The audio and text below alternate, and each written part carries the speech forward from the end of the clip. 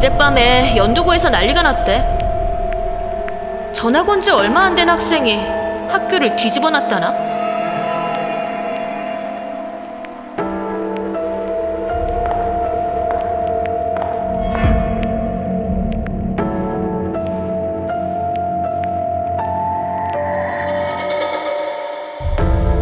사실을 안다는 게 두려운 거 아니고? 누가 결계를 부수고 있어. 조심해.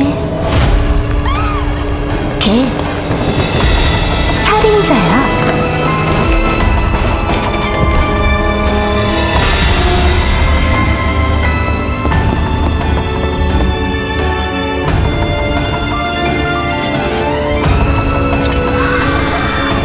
세상에서 가장 끔찍하고